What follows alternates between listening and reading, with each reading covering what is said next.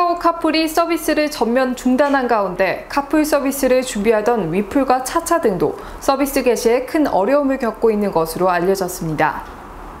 카풀 애플리케이션 위풀을 운영하는 위모빌리티는 지난해 12월 택시기사 분신 사망 사건 이후 10억 원의 초기 자금 투자 유치가 무산됐습니다.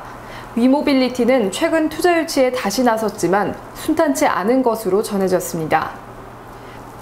위모빌리티는 지난해 12월 위플앱을 공개하고 운전자 회원을 공개 모집했습니다. 이달 정식 서비스에 나서겠다는 계획이었으나 현재는 서비스 개시일을 전면 보류하고 있습니다. 위플은 장거리 출퇴근 운전자들을 대상으로 한 카풀 서비스입니다.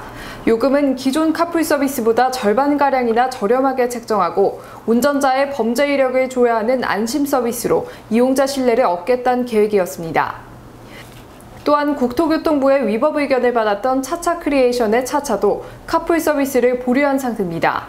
차차는 정부와 카카오 모빌리티, 택시 업계의 협상 진행 과정 등을 지켜본 뒤 서비스 방침을 결정하겠다는 입장입니다.